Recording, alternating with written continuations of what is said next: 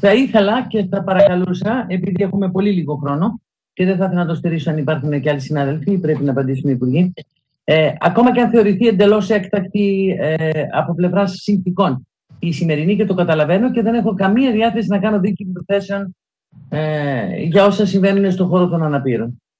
Όμως θα παρακαλέσω πολύ ε, τους κυρίους υπουργούς, την κυρία Μιχαηλίδου και τον κύριο Γεραπετρίτη, στην επόμενη συνεδρίαση, επειδή γίνεται πάρα πολλής λόγος για τον τρόπο με τον οποίο η ψηφιακή τεχνολογία και οι καινούργιες τεχνολογίες μπορούν να βοηθούν στην, ε, το λέω όπως το λέμε όλοι μας και είναι θεωρώ και άθλια τη φράση, υλοποίηση δράσεων. Δηλαδή, εγώ θα προτιμούσα το να δρούμε απλώς το ρήμα.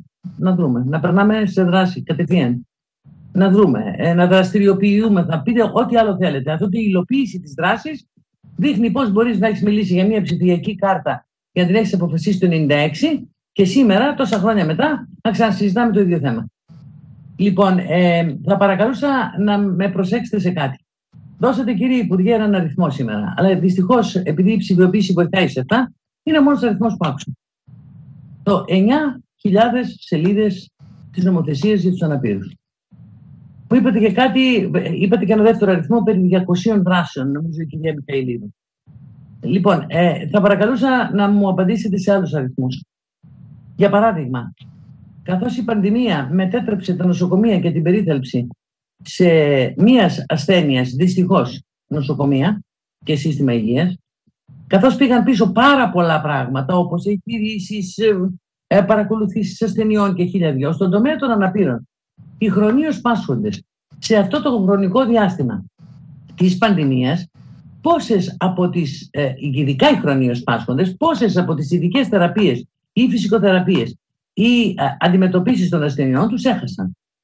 Και τι πρόγραμμα έχετε για να αναπληρωθούν αυτές με τον τρόπο που πρέπει. Δεύτερον, πόσοι από τους αναπήρους, πόσοι είναι; Ακούω, άκουσα και τον κύριο Βαρδακαστάνη να λέει 500-600 χιλιάδες άνθρωποι από το 500 στο 600 είναι 100.000 άνθρωποι. Δεν μπορεί το 21ο αιώνα να μιλάτε για ψηφιοποίηση και να μου δίνετε αριθμούς κάπου στο περίπου μεταξύ 500 και 600 χιλιάδες. Τι πάει να πει μεταξύ 500 και 600 χιλιάδες; Πώς είναι οι ανάπηροι στην Ελλάδα; Τι κατηγοριών ανάπηροι είναι; Δεν μπορεί το μοναδικό πράγμα για τους ανάπηρους να είναι τα ποσοστά αναπηρίας του. Και μετά να υπάρχουν και αριθμοί για τη λειτουργικότητα, η οποία έχει καταδυναστεύσει τους, τους αναπήρους και εξακολουθεί να τους καταδυναστεύει μέχρι σήμερα. Πόσα κέντρα φτιάχτηκαν για να πάνε οι άνθρωποι διακοπές; Πείτε μου. Εγώ θα σας καταγγείλω. Πράγματα που μου ήρθαν και μέσα σε μένα ως καταγγελίες. για κατασκήνωση στον οροπό. Και μου την έστειλαν οι άνθρωποι που υποφέρουν εκεί. Οι οποίοι είναι ιδιωτικοί. Κάποιος την επέτρεψε λοιπόν να λειτουργεί ως τέτοια. Είναι ένα παλιό σπίτι, με σίδερα, με επικίνδυνα, με καμία πρόσβαση με κάτι δωμάτια τρύπες όπως είναι ένα ιδιωτικό δίποτο σπίτι, όπου οι άνθρωποι που πηγαίνουν και έρχονται με ένα βανάκι, δεν υπάρχει ειδικός ε, ε σύνοδος ε, κατερδισμένο να μπορεί να τους συνοδεύει. Πολλά από τα παιδιά τα οποία είναι τετραπληγικά, γιατί είναι κυρίως για παιδιά που φιλοξενούνται εκεί, παίζουν τη ζωή τους κορώνα γράμματα όντα σε κατασκήνωση. Πόσες κατασκηνώσεις λειτουργούν, Πόσο ανάγκη έχουν οι ανάπηροι τις διακοπές φέτος πέραν οποιασδήποτε άλλης χρονιάς, όντας έγκλειστοι και δεύτερη φορά έγκλειστη, δηλαδή έγκλειστη στο τετράγωνο ως ανάπηρη, με την πανδημία; Μιλάτε για την παιδεία. Έχω μπροστά μου μια καταγγελία, την οποία την υπογράφουν οι καθηγητές του σχολείου και ο διευθυντής του σχολείου, οι δάσκαλοι, στο δεύτερο ειδικό δημοτικό σχολείο Ιωαννίνου. Όπου υπάρχει παιδί με αυτισμό, διαγνωμένο από το ΚΕΣΥ, το οποίο την χάνει δυστυχώς για εκείνο να είναι προσφυγόπουλο. Από μια οικογένεια με δύο γονείς και πέντε παιδιά από ενός 15 ετών. Το παιδί πάει στο σχολείο και έχει τεράστια βελτίωση.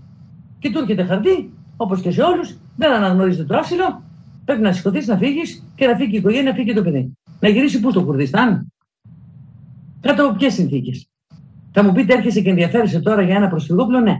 Γιατί είναι παιδεία, γιατί είναι προσφυγόπουλο, γιατί είναι αυτιστικό, γιατί οι ελληνικές ε, τοπικές εκεί ε, ε, κοινωνίες, αρχές και σχολεία κατάφεραν το παιδί αυτό να του συνεφέρουν. Το λιγότερο που έπρεπε να κάνετε συμβολικά να και μιλάτε για παιδεία, είναι αυτό το παιδί να το στηρίξει. Και δεν μπορείτε να το απομονώσετε βεβαίως από την οικογένειά του. Αυτό λοιπόν είναι, φέρνω δύο παραδείγματα συγκεκριμένα, τα οποία θα σας τα στείλω ευχαρίστως και στα Υπουργεία σας, να επιληφθείτε και προσωπικώς, αν θέλετε, γιατί τελικά, αν δεν επιληφθεί κάποιος προσωπικός ή δεν το έχει πράξει προσωπικός, φέτος στην Ελλάδα πολύ λίγα πράγματα γίνονται και μένουν στη θεωρία. Και δεν καταλαβαίνω γιατί πρέπει να μένω στη θεωρία και ειδικά για το θέμα των αναπήρων. Χρειάζονται προσωπικές πρωτοβουλίες, προσωπικές καταγγελίες. Εδώ είσαστε σε θέση ανοιχνευτικά να ψάξετε οποιονδήποτε, βρίζει οποιονδήποτε στο διαδίκτυο. Ε, τον κατεβάζετε άμα σηκώσει, ξέρω εγώ, το σφυροδρέπανο. Δεν μπορείτε να κάνετε έλεγχο των προβλημάτων αυτή τη στιγμή που υπάρχουν σε εξατομικευμένο επίπεδο, αναγάγοντά τα σε γενικό, για να πάρετε μέτρα και να προχωρήσετε σε δραστηριοποίηση των υπηρεσιών εδώ και τώρα. Και μένουμε μόνο σε αριθμούς. Καλές είναι και οι κωδικοποιήσεις και πολλά άλλα πράγματα. Και μυστικοί κώδικες μπορεί να υπάρχουν. Αλλά σε αυτούς, σε αυτούς δεν μπορεί κάποιος να βασιστεί. Υπάρχουν προβλήματα που πρέπει να λυθούν. Διότι δεν είναι οι 9.000 σελίδες, 9.000 σελίδες τυχαίες, κύριε Γεραπετρή. Οι 9.000 σελίδες συνεπάγονται το συνδυασμό όλων των Υπουργείων που λέτε ότι πρέπει να συνδυαστούν.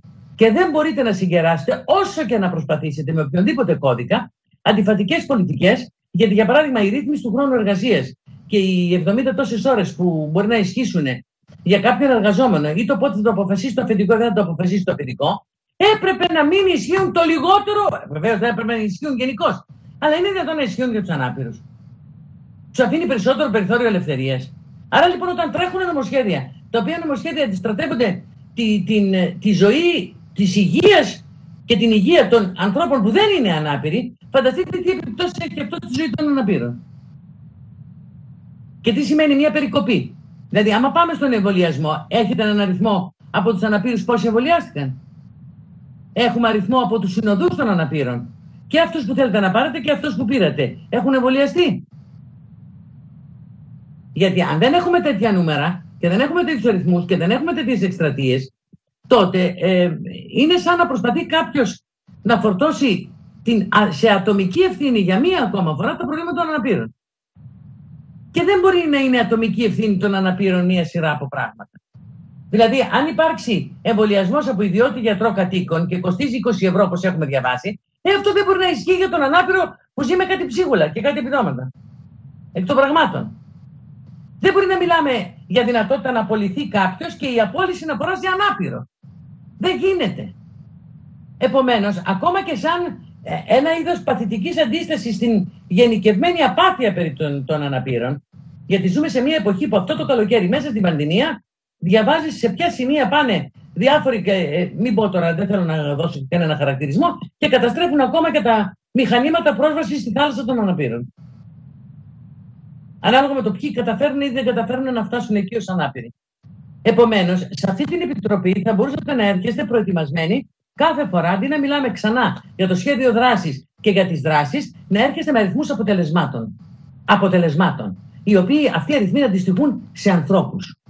Τόσοι εμβολιάστηκαν, τόσοι πήγαν διακοπές, τόσοι ε, προσλήφθηκαν, τόσοι επολύθηκαν, τόσοι έχουν πρόβλημα, τόσοι δεν έχουν πρόβλημα. Και τότε θα φαινόταν και θα ήταν πραγματικά το πραγματικό το ενδιαφέρον μας όλων για τους αναπήρους. Τι γενικές θέσεις του κόμματος, τις ξέρετε, σε ένα πεντάλεπτο δεν έχει κανένα νόημα να τις επαναλάβω. Σας ευχαριστώ.